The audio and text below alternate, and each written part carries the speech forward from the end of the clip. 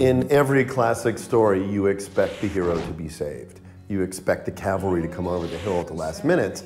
And part of the first episode of season seven is the reality and the realization that they're not going to be saved.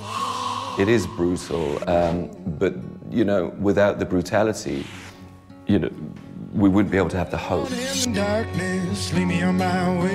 I just think there's something about Negan that has a lot of charisma, and we want to know more about him. And I think he became the guy he became because people didn't listen to him originally. And I think that he got fed up with that. And now he's got those famous set of Negan rules. There'll come a time when it flips back, Yeah. and then people will be mad at us, and they'll be like, "Why are you beating up Negan?" I think having a foe like Negan for these guys, it, it, it just makes the story move forward.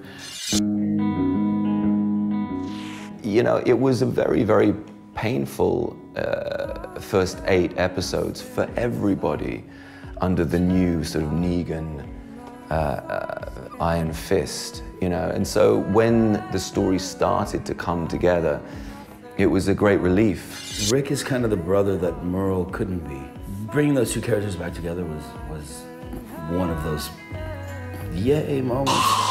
We couldn't wait to do that again, and everybody was crying. Here's your gun back. Let's go fight. You know, every the band's back together, and and you know, let's go kick butt. All I will say is that the season finale of this season, usually the crew and the cast are wrecked at the end of 16 episodes. But I've never seen everybody so excited to see what the next episode was about.